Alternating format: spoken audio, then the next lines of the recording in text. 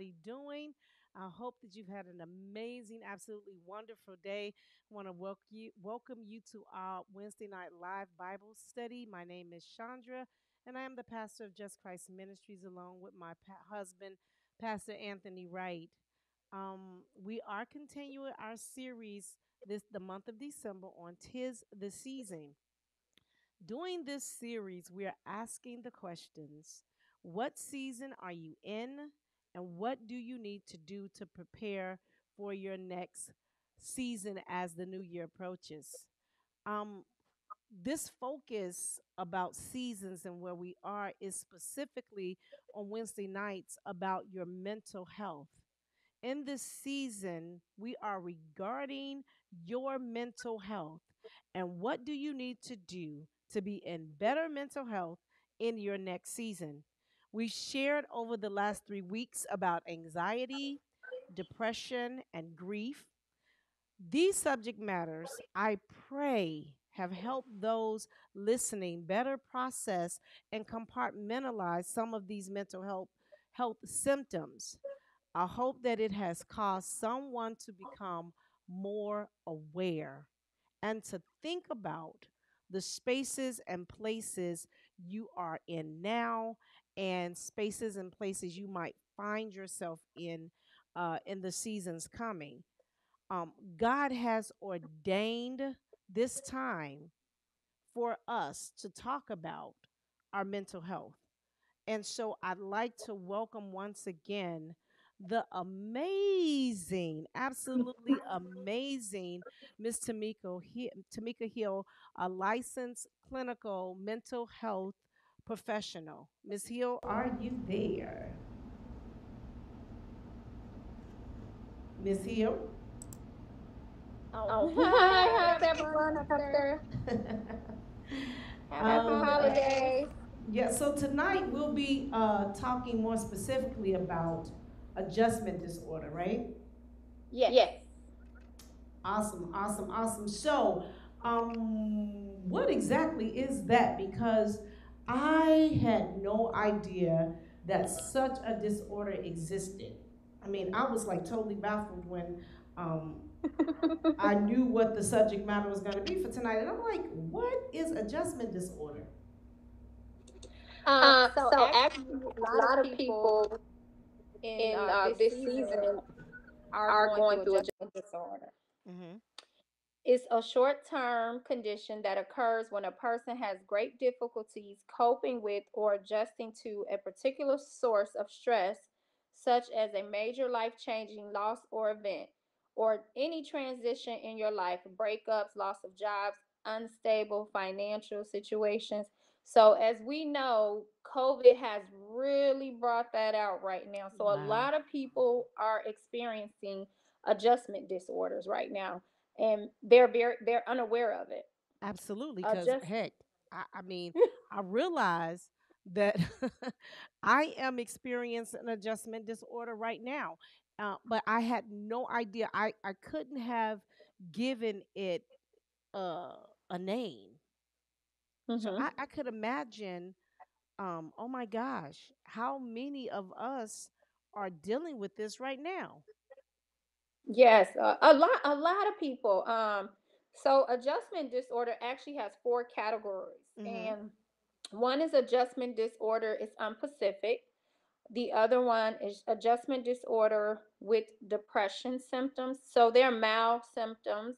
Mm-hmm. So usually, you know, um, the symptoms of sadness, hopelessness, Um, the other one would be adjustment disorder with anxiety. And that's usually when you know you kind of panic. Because again, you got to remember adjustment means like something you're no longer controlling.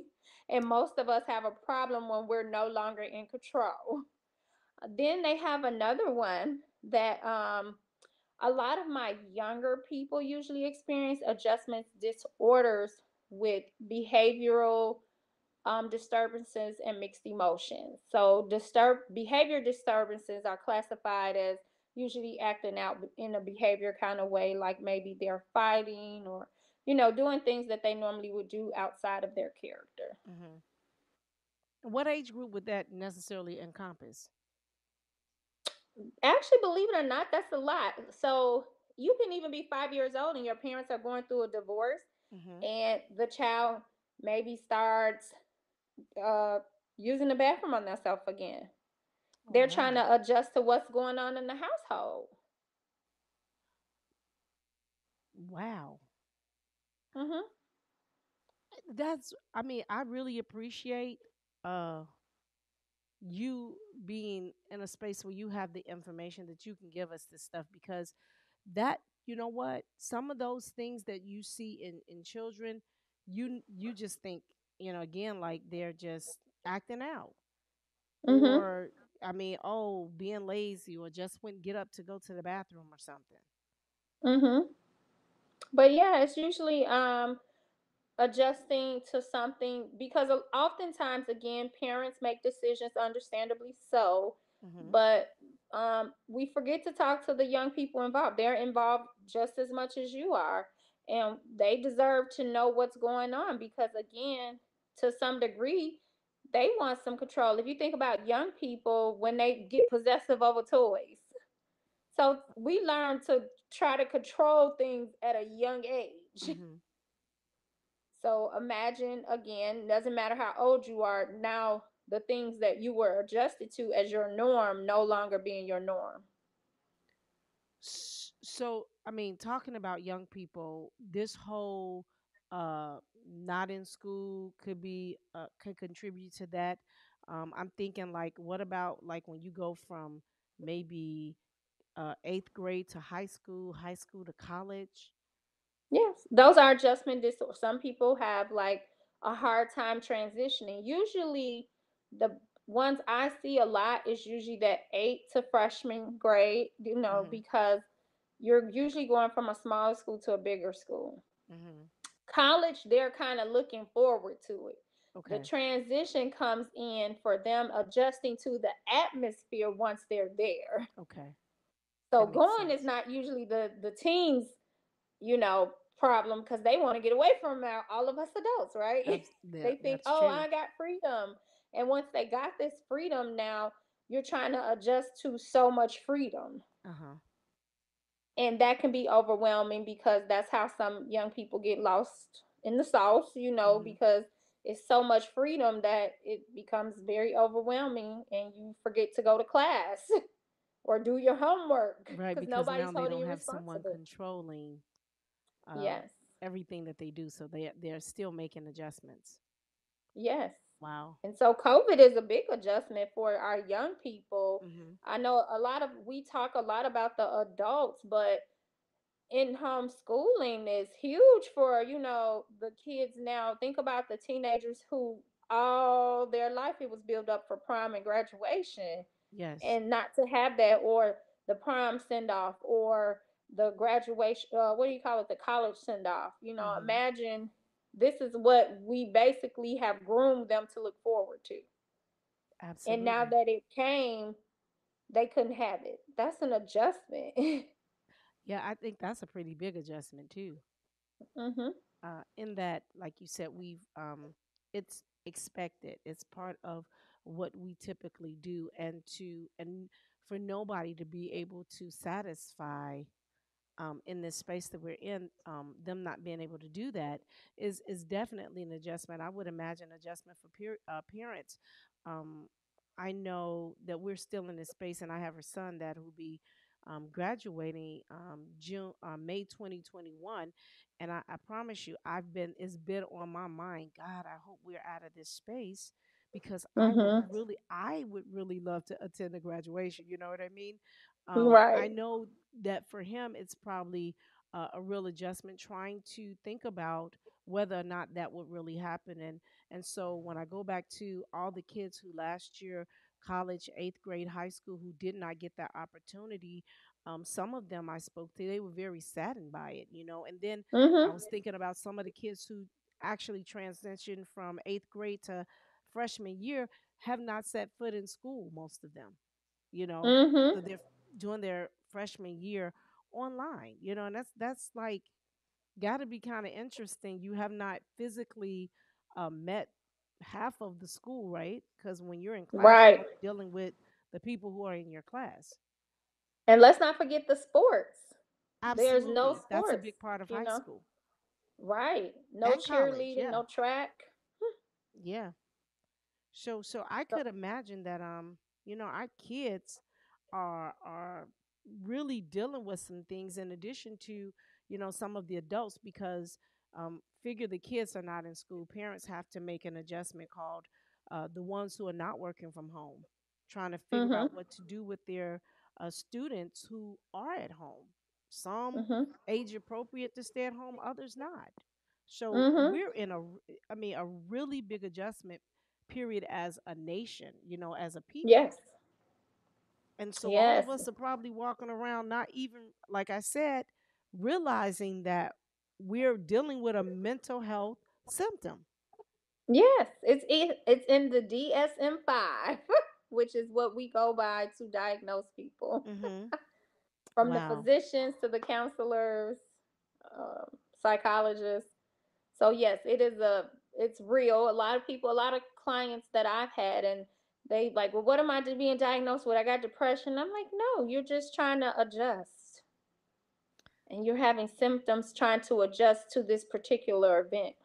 Now I got a question. How how long can one um, stay in an adjustment uh, space where this symptom is still identified as an adjustment disorder. And I'm asking that question because sometimes it takes it might take me longer to adjust than than you.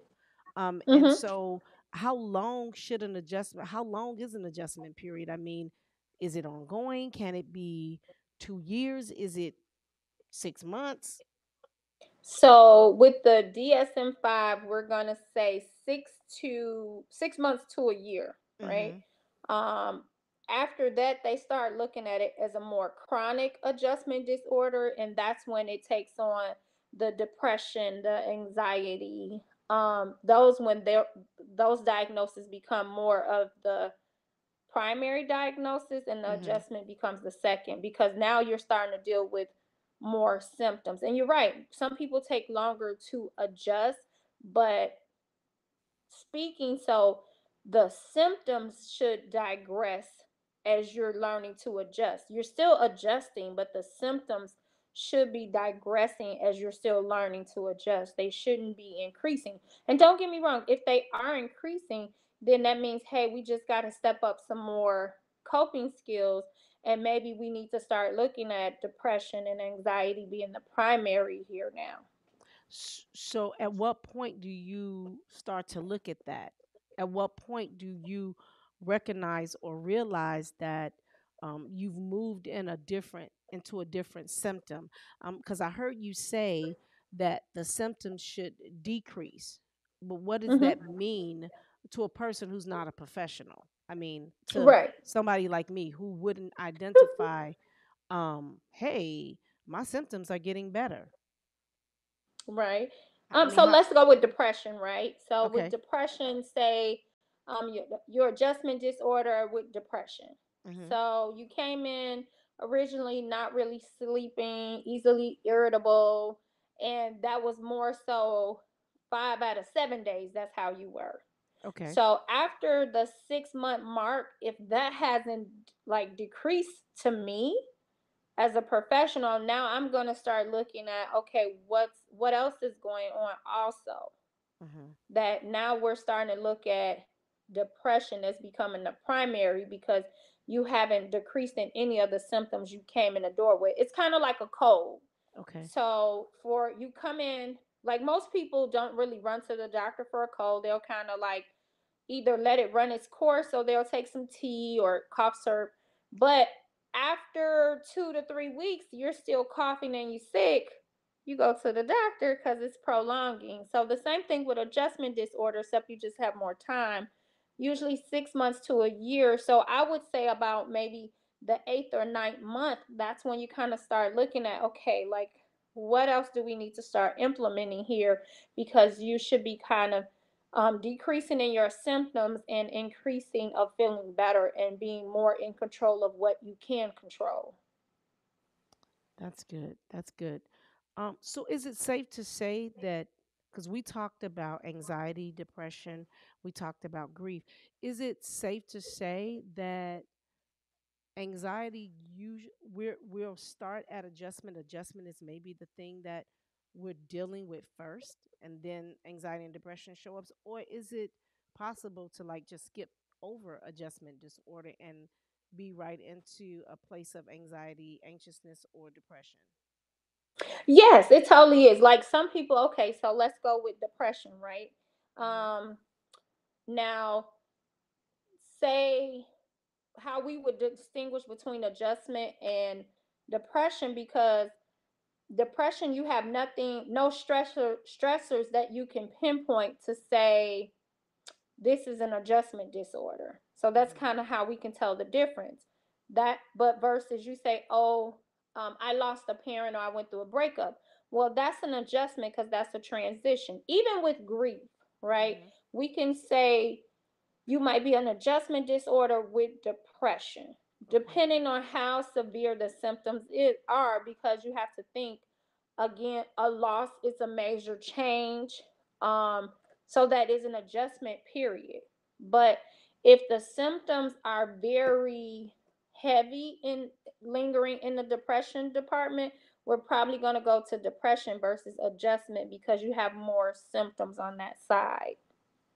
Because that may be in the past when we look at the past too right? Hmm how have you dealt with other things in the past? Has this been a pattern um, that you kind of go into depression when you're things you can't control? So that would make me more say okay that's depression that's not an adjustment because that's kind of what you tend to lean to when things are going on. You kind of go into this depression mode. Like some people have seasonal depression which is hmm r- a real thing um because they're less sun. Yeah it's not a, um official diagnosis let me say that. But you have to think if you're we need sun usually to make us happy hmm um to be out in the air. So in the winter time it's dark it's gloomy you're not as active. Hmm so some people have seasonal what they call seasonal depression. Wow. I, I am learning so much my own self doing this series, and I really hope that the people are getting it, um, getting information enough to compartmentalize um, where they might be uh, mentally, emotionally, spiritually, physically, um, even financially, because um, I would imagine just thinking about that, a loss of a job is an adjustment mm-hmm and so finances get affected, bills, what you can and can't do. Uh, so it takes you as well into an adjustment space, right? mm-hmm Wow. Yes. I I would say probably 99.9 like DNA uh Mm-hmm. is dealing with adjustment disorder during COVID. I don't care if you have money or don't have money Mm-hmm. because some way some form it has affected you Yes. And we we no to matter, you know, what's going on. right. So you're saying everybody in this space have had to adjust one way or the other. Yes, we all have. I mean, even if you think about it like the a rich person, you still like your stock was affected if you're an investor. um, if you're a landlord, more than likely you might have some tenants not paying, right? Yes. um, so it's kind, you know, like I've uh some of the places I, some of the people I talk to, the commercial buildings, people like we're talking about big businesses not paying their lease.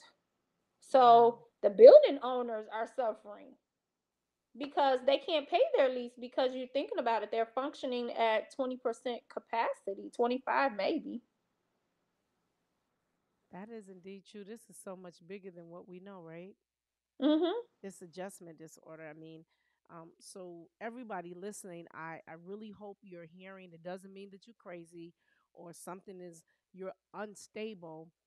Just take into consideration um, some of what you've had to process over this last few months. I mean, we're we're embarking on a year of being shut down, you know, to some degree. In March, you know, is when all this stuff started. So, uh, give yourself some time to process Mhm. think about really think about what you've had to go through and consider what other people have had to uh, deal with in terms of adjusting. You know. Right. Clinically, we define it as adjusting to the unknown and uncontrollable. hmm So this season, Say that again. Adjusting to the unknown and uncontrollable. Huh. Uh, so this season really embraces that statement. First, we we have a disease that it's we can't see it. It's unknown. Like there's not a lot of you know studies out there. Like they're trying to get. I know science is trying to catch up, but um, there's not a lot out there to know about it. Hmm But something we can't see is harming people, right? And then you can't even control whether you could go to the bank, whether you could go to work, whether you could go outside, whether you could go to the restaurant, whether you could even go work out. This is this is very very true. yeah. So so how how would you um suggest you have any thought processes behind how uh you you definitely made clear how you can identify that you're moving or dealing with an adjustment disorder but are there some things that we could do um to help us manage or deal with or cope with uh this adjustment disorder Oh, definitely, definitely. You know, my first foremost is always my favorite. Acknowledge, acknowledge, acknowledge. What you mhm do not acknowledge, you cannot deal with. Mhm You have to confront the devil just head on sometimes. You can't ignore the demon in the room, the elephant in the room. Yes, yes, Um, yes, so yes. you have to acknowledge that you're having some difficulties coping with something that you no longer have control over. Wow. And not only acknowledging that you're having some difficulties, what are your actual feelings with that? Because, like it's like I said, it could be different. One person could be experiencing depressive symptoms, so they could be sad, versus another person's the whole other spectrum. They're panicking, so that's anxiety. hmm And that's Or connected to the how you feel. Right. That's definitely those are feelings. So if I'm gonna say identify what you feel, um, I feel hopeless. hmm Okay. I feel like this is never gonna end. I feel like all I want to do is sleep. So that's acknowledging what you're actually feeling. So then now we're starting to identify some symptoms. Okay. Um, so it's first you really first have to just say, you know what, I am having a problem that I can't control what's going on. Period. hmm And then discover what actual feelings are connected to what you can't control. Those are very key to the first step in moving forward. And it's okay to acknowledge them because sometimes, and um, I'll speak to it culturally. Sometimes, um, that identifies that you're weak, or you know, it's like just, I mean, what's wrong with you? Get over it. Move on. I've said that to people, and I've said that to myself. Like, hmm um, I feel, and maybe that's a, a, a part of me not being in control, but I, I feel like when, if I admit that, you know, hey, I, I feeling hopeless, that I need to just get up, shake myself, and, and move past feeling hopeless. But you're hmm saying we should acknowledge that hopelessness and and deal with it, hmm not just Because it like under the rug. right, because what happens is, especially culturally, we're taught be strong, move on, you know but at the end of the day all you're doing is like you picked up the rug and swept the dirt under the rug hmm so eventually guess what your mama gonna pull that rug up and see all that dirt and it. eventually it's gonna stain the floor so the same thing with the body if you keep ignoring what you're feeling and never acknowledge it eventually your mental health is going to deal with your physical health it always affects one or the other. So if you keep saying, "No, I'm I'm bigger than this. I'm stronger than this," that's not going because a lot of people, COVID not to control me. And it's not about controlling you. It's just about acknowledging, look, I'm having a moment. I cannot control what's going on, and I feel hmm some type of way about that. That's okay. That's not weak.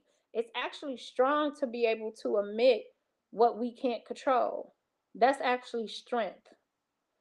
Um, so you have to think like if you keep ignoring it though, your body starts to build up stress and tension in your shoulders, your neck, your head starts hurting.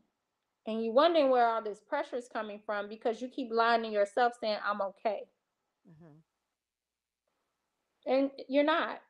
And it's okay not to be okay. That, that's.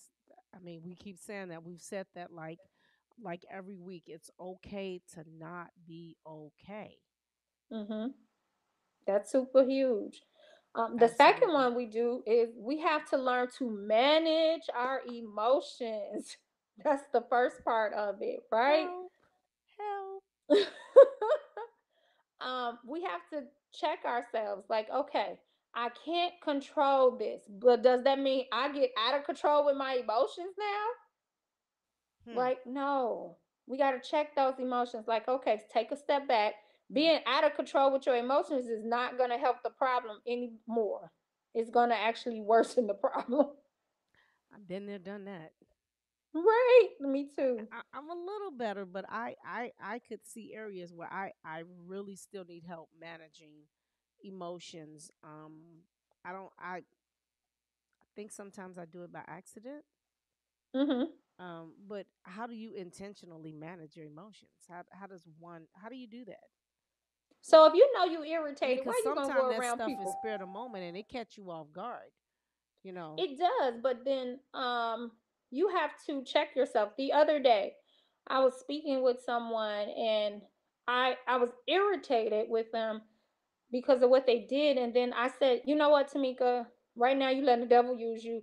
Get your man right. What was the purpose of this call? Mhm. Mhm. and it was me having to be self-aware. So managing your your own emotions takes a lot of self-awareness Okay. you know when your body act different you know when your mind is starting to tense up you know when you're starting to feel some type of way because you are becoming more self-aware and self-evolved into yourself so that's the key of learning to manage your emotions is being self-aware so if So i if know i'm know I'm irritable irritable, so if i know i'm irritable then i know i don't need to probably go around people Mm, because i'm probably going to find 10 things wrong with them people that's good. So that's part of managing your emotions. If you know you angry about something, go don't go nitpicking with your kids. Well, why you didn't do this? Why you didn't go lay down? Go to sleep. Go watch TV. That's really good.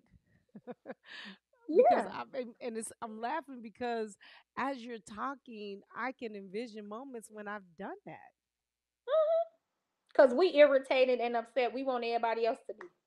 Because we're not really dealing with our own emotion. hmm So now we want everybody else to be in our energy.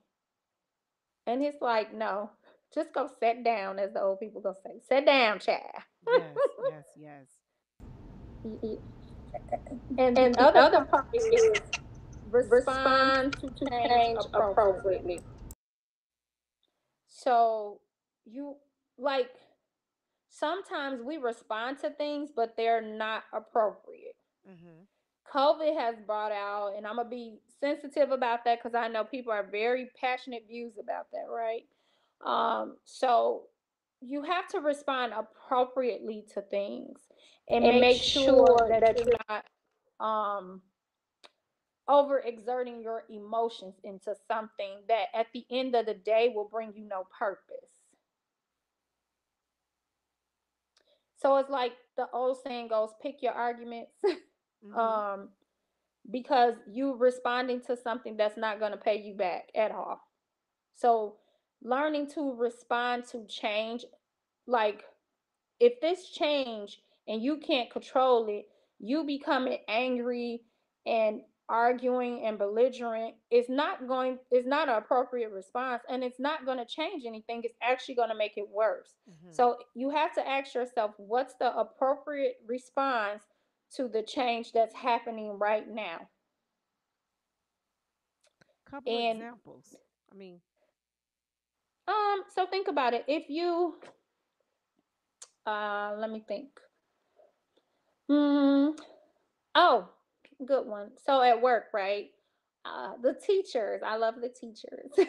um, they were, of course, very upset with the e-learning. hmm Um, so the student and I get both the frustrations because the students are frustrated because the teachers are learning as the students are learning. But of course, the students and the parents feel they're irritated that the teacher's supposed to know everything, but the teacher doesn't know because the teacher is learning with them as well. hmm But the teacher has to also recognize that they're frustrated. So you can't match people's energy. So when the parent That's go good. yelling because you're in because you're um they're upset about all the change you don't have to match their energy because you have to realize they're upset about the change that's happening and that's where they're at that doesn't mean you have to respond with the same energy they have. You can take control of your energy and respond appropriately and whatever that circumstances is like well i'm sorry you feel that way. Um, i understand and that's all you can say. That's it. I can't fix what i don't even understand and acknowledge that people only can argue with themselves so people can get louder and louder and louder. What are they going to do? Most of us are on computers talking so them being louder and louder is not going to do anything to you really. Physically it's no harm. So just as professionals sometimes we have to make sure we're responding appropriately. And i'm just using teachers for an example but on the flip side parents as well. Hmm parents are becoming belligerent with the teacher. But really, you're upset because you maybe lost your job or you have to figure out how to stay home and do e learning with your child and find how to do and feed the child more because you know children eat more, Yeah. right? While they're at home. Yes. And here it is, I'm making less money, or I'm working at home alone with you, trying to understand all these Zoom meetings with your e learning. So Yeah. understand that you're frustrated and are you responding appropriately to what the teacher has going on with your child? Or are you really dealing with your frustration of what you can't control? So now you're trying to go over here and control something that you can't even control over there. That's really good. I, I think I hear you saying we need to identify the root of Mm-hmm. our emotion Yes. so that we can um, move in a direction that's more appropriate for what's really going on and not what we might be dealing with surfacely. Right. And that's where self awareness kicks in. hmm Like if you find yourself getting irritated with another, and like a lot of people were with the tissue, right? hmm You're mad about, oh, I can't get tissue. You have tissue at home. What are you mad about? like, you know, you you're mad because somebody, or like, you know, oh, I know a big one. When people cut you off hmm in traffic, right? hmm And we get mad and we feel like we got to match the energy. That's not really responding appropriately to the situation. That's so funny because yesterday, uh, Pastor and I were driving, and I I was I had been out for a long time. I I was exhausted. Had driven um from one side of the earth it felt like to the other and Mm-hmm. and at one point and you know it's like the closer i got to being home the Mm-hmm. more anxious i became and i could feel it i could feel me being you know what i'm saying because now i just Mm-hmm. want to get home um Mm-hmm. and so i'm like maybe four blocks from no maybe 10 blocks from the house and at one point this car was like in front of me and it's just like the light is green why don't you freaking go and so i'm Mm-hmm. like will you just please go and so you know my son and pastor's in the car nobody said anything then i got to about seven blocks from home and once Uh-huh. again there's another car in front of me and it's like just sitting and the light is green and i'm I then i honk the horn like uh uh will you move out of the way please? And pastor was like will you quit hollering in my ear? And now i'm like i'm not hollering in your ear. I'm way over here in the driver's seat and you're way over there. Your ears over there i'm not hollering in your ear. And so it went from me just because at the end of the day, I was just mm-hmm. ready to be To go home. home. That was Mm-hmm. really my issue. But oh my doggone it, when nobody's moving and then he's like, You're hollering in my ear. I'm like, What's hollering in your ear really mean?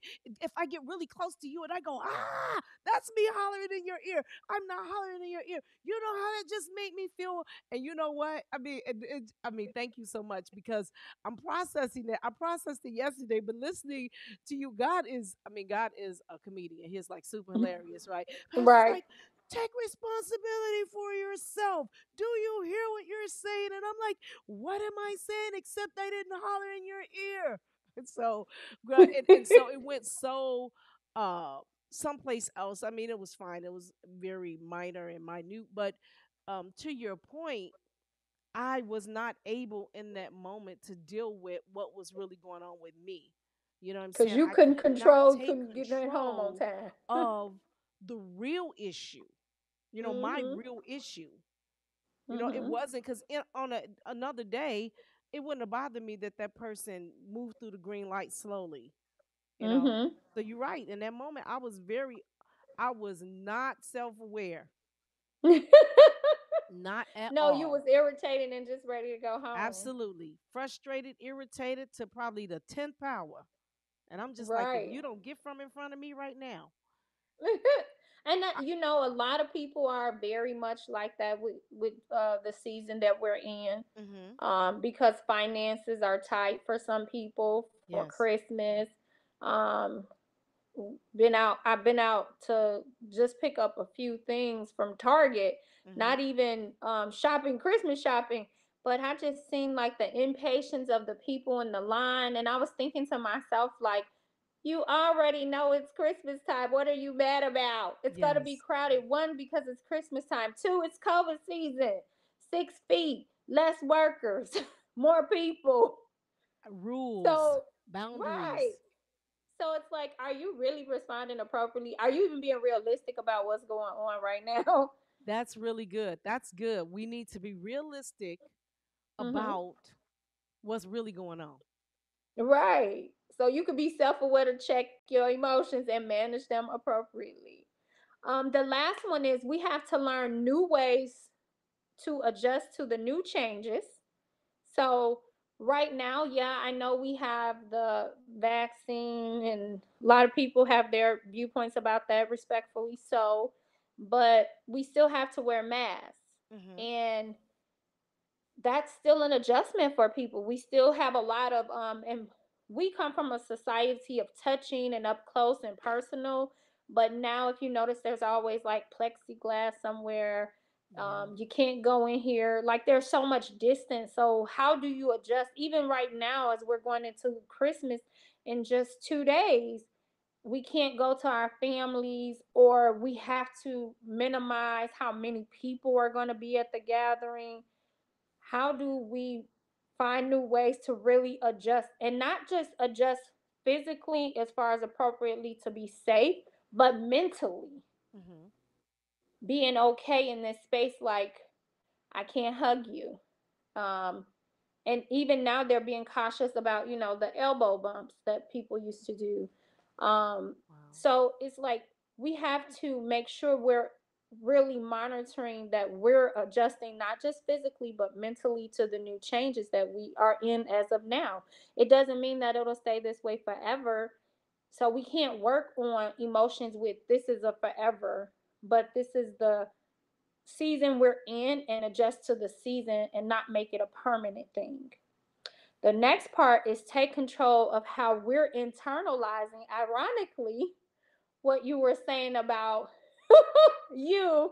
He's telling you, like, you're yelling in my ear, but you were internalizing it and making it personal. Absolutely. Uh, right? yes. So that that's another thing we have to do. Take control of how we're internalizing what's going on. and Are he we said that, but I couldn't hear it in that moment. Mm-hmm. I Right. Well, you, you know the social workers in us. Like- Absolutely. You're taking it personal. Um, and make sure that we're internalizing what's really happening versus saying, hey, we're the victim yeah. and responding according to the victim versus responding to like this is just what's happening to everybody. Mhm. Yep. It's the season we're in. Um, I would love to close off with this. The biggest lesson to learn that I want people to take away is learning to adjust to the changes that are beyond your control. Everything is not happening against you, but for you. Um, a lot of times we're like, ah, this everything is happening to me. Why me? Why me? Why me? First of all, why not you? But everything that's happening is not against you. Yes. It it's for you, for your better. How you process it really helps you evolve, Yes. no matter if it's good or bad.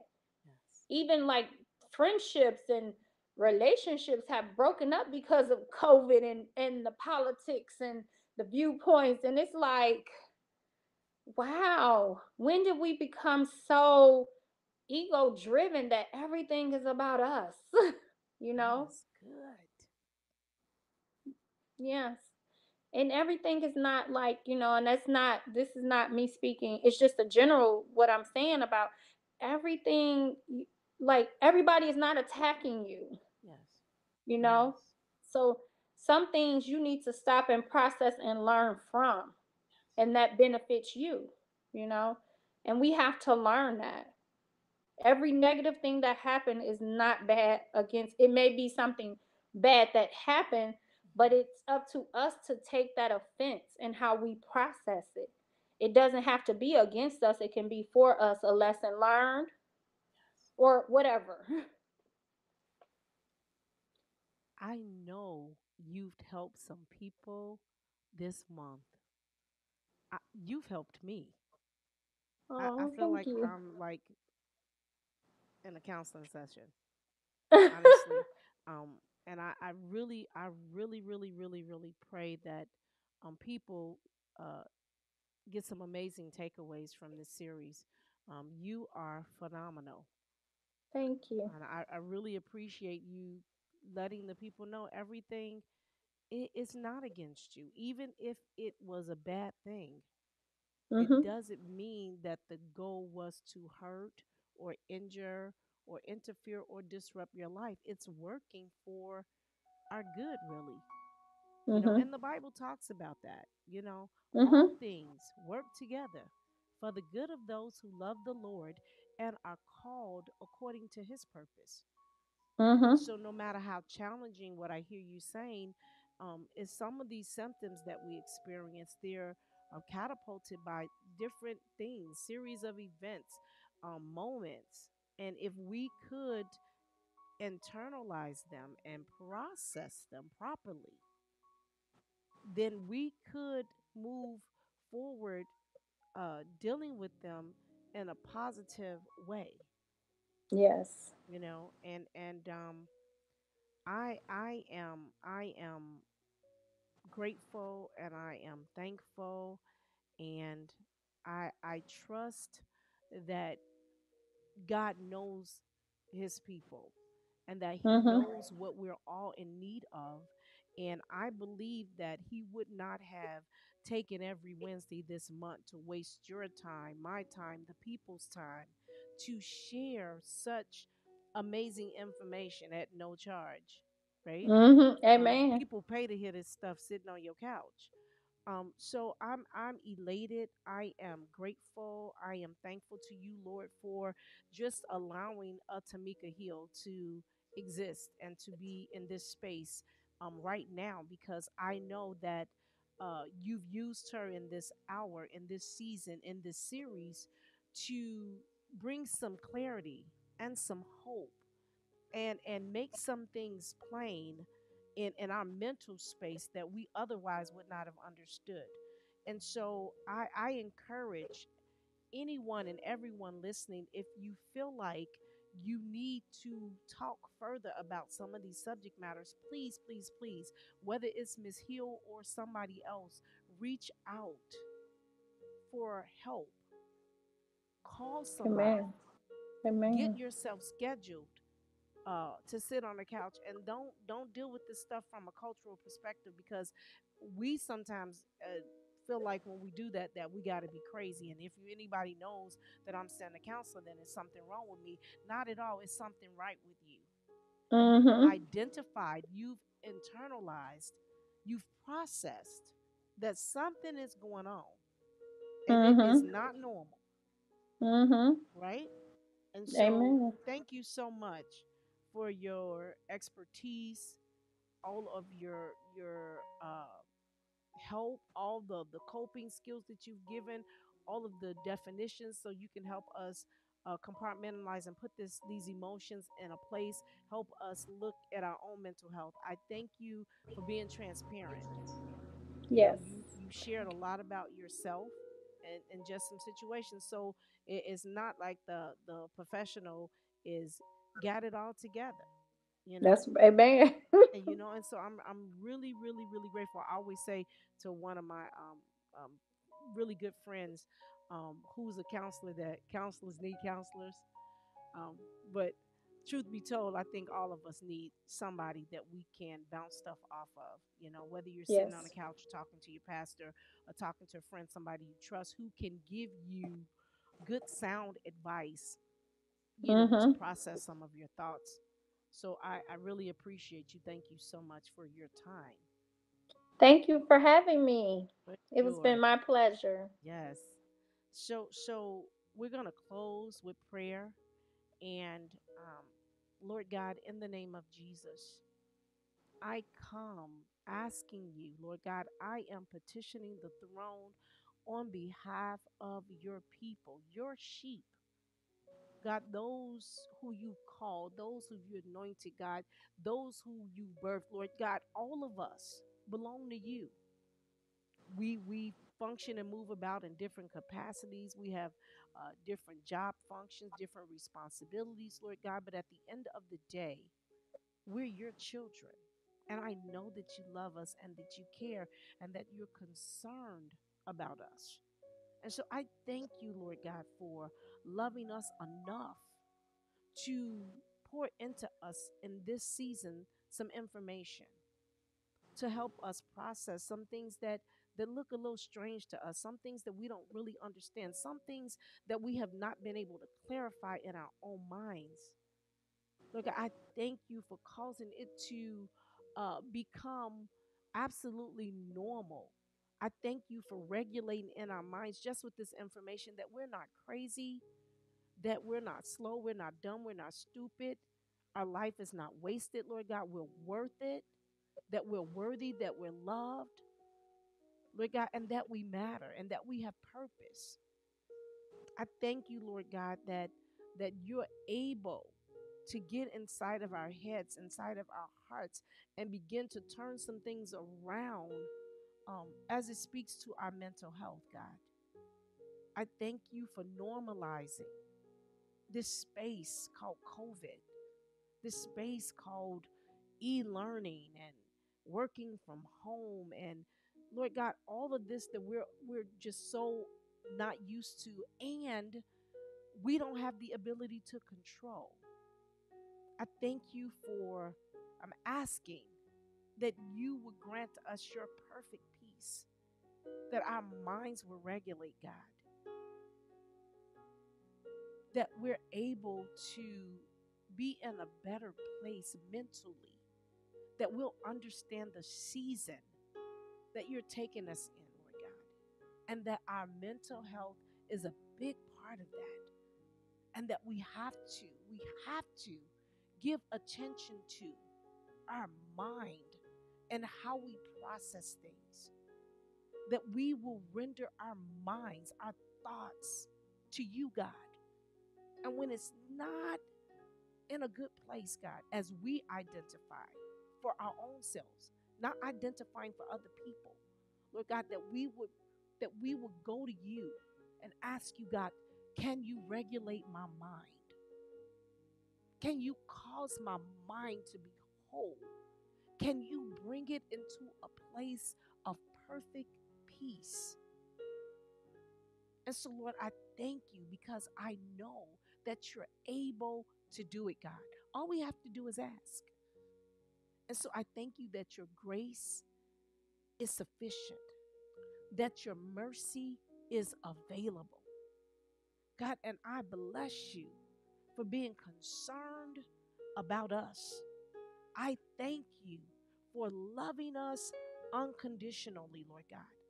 I thank you for causing us to be aware, to identify the purpose and why we're still breathing, Lord God. And I ask that you would use us for your glory, Lord God. That you will cause any symptom that exists to dissipate. Not because we shoved it on the rug, Lord God, because we've acknowledged it and we accepted the help that you've provided for us. I thank you for by your son's stripes, we are healed mentally, emotionally, spiritually, physically, financially, Lord. That is nothing, nothing that the blood can't handle. I give you glory and I give you honor and I give you praise for being an amazing, all sufficient God. I ask that you will hear my prayer and that you will cause it to be so. In Jesus' name, I bless you and I thank you, God. Amen. I appreciate you guys for tuning in. I thank you for your time. I encourage you to share this information. You may know somebody that's challenged or dealing with some things mentally and emotionally. I believe that this information would uh, ultimately point them in a direction of, of getting a fresh start or at least understanding and normalizing the space that they're in. So I encourage you to share it. I encourage you to go back and listen to it again. Um, if it's blessed you, maybe you missed some parts that will help you better process. I encourage you to reach out to somebody to say, I need some help. I just need you to listen to me. I'm trying to process this and and I, I need to to get a second set of ears. So so you guys be blessed. You have an amazing rest of the evening. Happy holidays to you. Uh, we will back be back here same place, a different time on Sunday, uh, 10 o'clock. Uh, Apostle Dr. Apostle Dolores Moore will be sharing with us on Sunday. I encourage you to tune in. She's going to be finalizing our series on Tis the Season. So I encourage you to tune in 10 o'clock on Sunday. Um, our 9 o'clock is our uh, Sunday school. You can chime in on Zoom. Just Christ, you know where to go. Uh, so you guys be blessed. You have an amazing and safe holidays. Thank you so much. God bless you and good night.